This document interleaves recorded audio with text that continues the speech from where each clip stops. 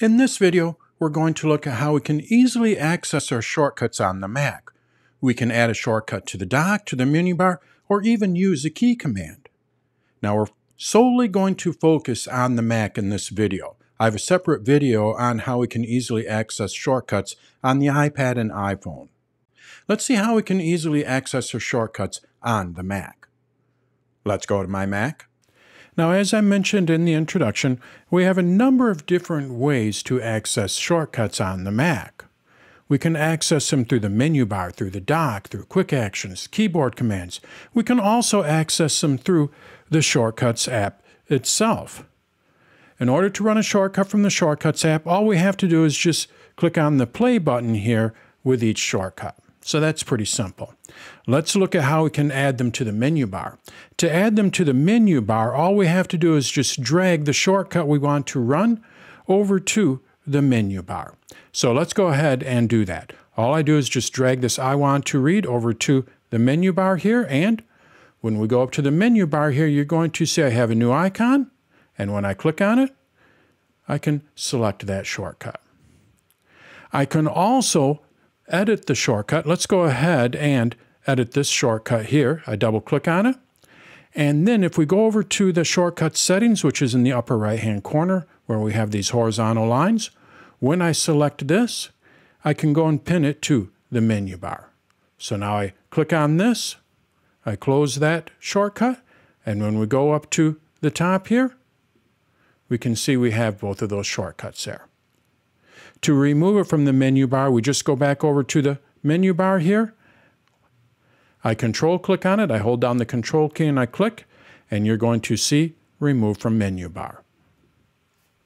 So that's how we work with shortcuts from the menu bar. Let's keep it simple.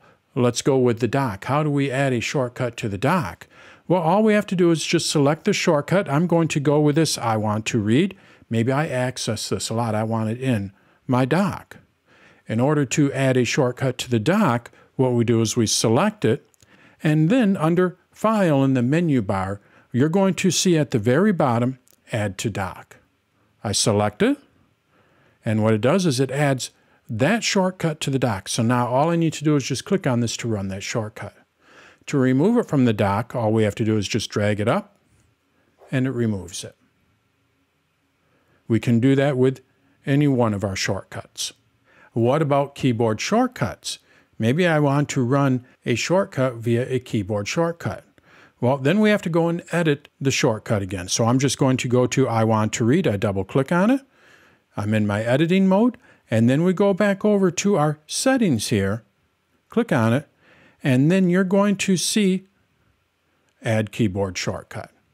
I click on this. I type in what that keyboard shortcut is and it'll run that shortcut when I use that keyboard shortcut.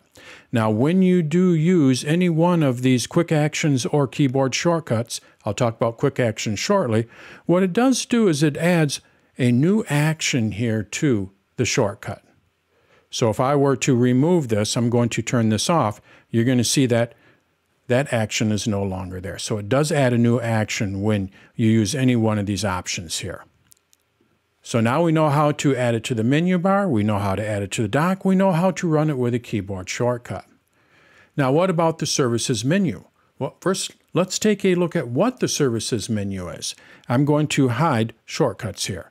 When we go up under Finder in the menu bar, we can be in any applications. Right now I'm in the Finder, but under any application, you're going to see an option here for services.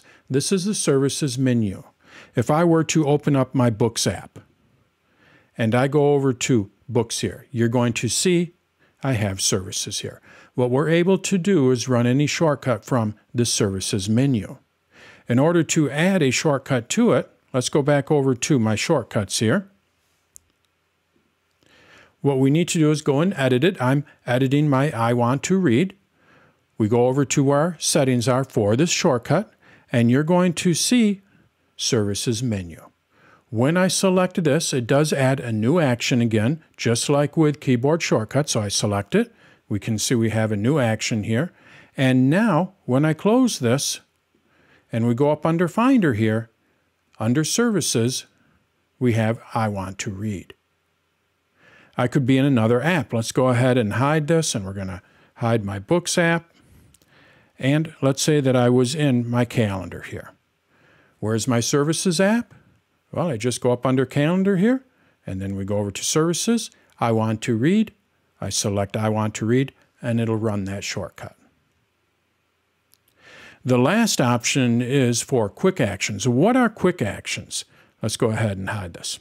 Well, quick actions allow us to perform quick actions on a selected file. So this one works a little bit different than all of the other ones. You can basically put any shortcut into the menu, into the dock, or even use it as a keyboard shortcut or access it through a keyboard shortcut or the services menu. But with our quick actions, we need to select a file. So if I go over to my screenshots here, let's say I wanted to convert this image. I can do that through a quick action. So I select it, and then when we hold down the control key and click, you're going to see quick actions. And from here, what I'm able to do is convert the image, create a PDF, markup, or rotate left. What we can do is we can add shortcuts here. Now this menu only shows when we have a file selected. So if I were to deselect a file, and now I control click, we can see that it is no longer showing, that quick action is no longer showing. So if I were to add the I want to read, the only way I'm going to access that shortcut is if I have something selected. So just know that that is how it works. Basically, quick actions work for shortcuts where you have to select files. So I'm going to go back over to my shortcuts here. I have this shortcut here, rename file shortcut. I need to select the files before I can rename them. So this is a great shortcut for adding as an extra. So now I just double click on it and then I go over to where I can edit it and you're going to see uses quick action. I select it. We go over to our finder here, make sure that that is selected. We can see it is also adding it to my services menu. I'm going to close this. We're going to hide it. And now when I go up under Finder where my services menu is, you're going to see I can rename any files. Now, I do not have any files selected, so you may not want to place it in here. What you may want to do is make sure that it's just a quick action. Being that I had it added to my Finder as a quick action, when I select these files here, I want to rename them. I control click on them, hold down the control key and click, and then you're going to see quick actions. And the quick action rename file shortcut is now in there. So now when I select this, what it's going to do is rename those files. So really with selected files, you really want to add them as a quick action. I would highly recommend that. You really don't need to add them to the menu bar or to the dock unless you use it a lot because it's easy to click on that shortcut without having anything selected. So I like to use these type of shortcuts where I select my files, I like to use these type of shortcuts as quick actions. So I'm going to remove this quick action here, renaming the files from my services menu. So then it's no longer accessible from here. So how do I do that? I just go back over to my shortcuts, and then we go over to my rename file shortcut, double click on it. We go over to our settings here in the upper right hand corner, and then I'm going to remove it from the services menu. So now the only way that I can run this shortcut is if I first select files and then I can access it from a quick action. It's not going to be available in my menu bar and it is not in my dock. The only way it's going to be available to me is through a quick action. But being that I want to read here is not reliant on anything being selected, I do like to have this one in my menu bar as well as possibly in my dock or in the services menu. I can also use keyboard shortcuts easily with this shortcut. So that's how we can easily access our shortcuts on the Mac. We can add them to the menu bar, we can add them to the dock, we can access them through a keyboard shortcut, the services menu, or as a quick action. To add them to the menu bar or as a quick action or through the services menu, you have to edit the shortcut and then go over to the shortcut settings. From there, you can select how you want to access that shortcut. This is also where you can add a keyboard shortcut. If you want to add it to the dock, what you need to do is select the shortcut and then go up under File in the menu bar and you can add it to the dock.